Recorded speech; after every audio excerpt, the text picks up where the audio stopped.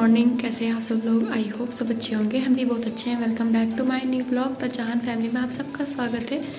तो अभी बज रहे हैं शाम के साढ़े चार और हम जा रहे हैं मार्केट सब्ज़ी लेने के लिए। क्योंकि आज सब्ज़ी ख़त्म हो गई हमारे यहाँ। और आज कोई सब्ज़ी वाला बेचने भी नहीं आया ना इधर की साइड नहीं तो हम यहीं से ले लेते हैं। लेकिन अब हमने सोचा, चलो घूम के भी आ जाएँगे और मार्केट से होके भी आ जाएँगे। तो चलिए आपको ले चलते हैं। बहुत दिनों बाद सब्ज़ी मंडी और तब दिखाते हैं आपको, ठीक है? और आज तो हो रही है यहाँ बहुत ठंड, कोहरा कोहरा भी आ रखा है। आज तो जो मैंने कपड़े धोए थे वो सूखे भी नहीं, आज कल फिर से सुखाने के लिए डालने पड़ेंगे अगर धूप आई तो। तो बाकी देखते हैं कल का कल। और बाकी बहुत ठंड हो रही है आज तो।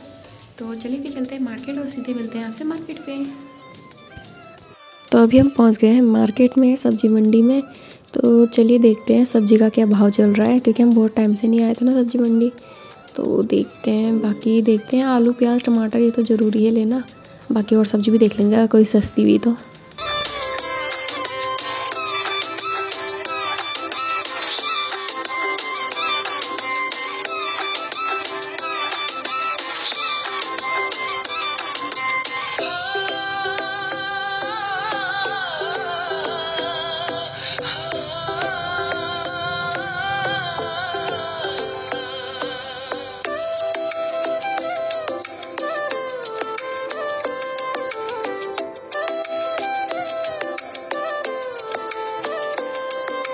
और हम सब्ज़ी मंडी आ रखे थे तो हमने कहा सेल में भी चल लेते हैं, क्योंकि यहाँ से भी हमें थोड़ा बहुत सामान लेना था।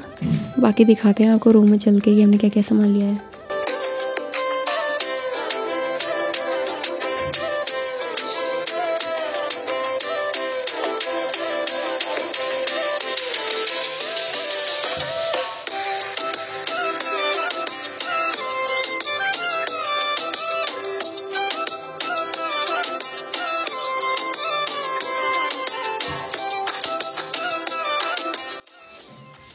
बज गए शाम के छः और हम पहुँच गए हैं अपने रूम पर सब्ज़ी उब्जी लेके। और बाकी तो कुछ नहीं, बस सब्ज़ी लाए हम, आलू, प्याज, टमाटर और गोभी। और बाकी ना कुछ ऐसा सामान लाए थे जैसे कि ये बर्तन धोने का और साबुन, सरफ, बस बाकी कुछ नहीं लाए। और हमारे पास ना कपड़े सुखाने वाली रस्सी नहीं थी तो ये ना दस रुपये की मिल रही थी सेल में। तो हम ये लाए, अब हम इसे खोल के देखेंगे कितनी बड़ी है। क्योंकि यहाँ ना रस्सी बांधने का कुछ है भी नहीं ना कपड़े सुखाने के लिए। तो मैंने कुछ जुगाड़ कर रखा था वो मैं कल दिखाऊँगी आपको वीडियो में। आ, तो उसके लिए मैं रस्सी ले आई थी। बाकी देखते हैं इसे खोल के कितनी बड़ी है।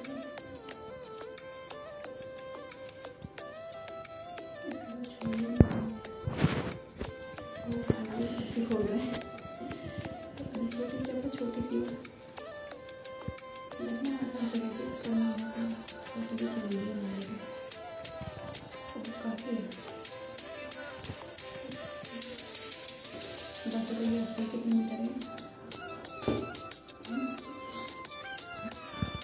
तो एक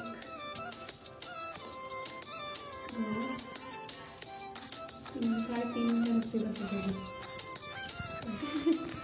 तो देखते हैं रस्सी कल छत में फिट होती है कि नहीं होती है। बाकी अभी तो फ़िलहाल क्योंकि कोहरा आ रखा है ना बाहर तो कौन जाएगा छत में? कल दिखाएँगे आपको। तो चलिए फिर जल्दी से खाना वाना बना लेते हैं। तब मिलते हैं आपसे थोड़ी देर में। और ना क्योंकि सर्दियों से मतलब चेहरा थोड़ा वैसा हो जाता है ना मतलब रूखा रूखा सा तो हम मॉइस्चराइजर लाए थे अपने लिए। और पता क्या, तीस रुपये का मॉइस्चराइजर लाया और उसमें ना आधा डिब्बा है देखो, पूरा खाली।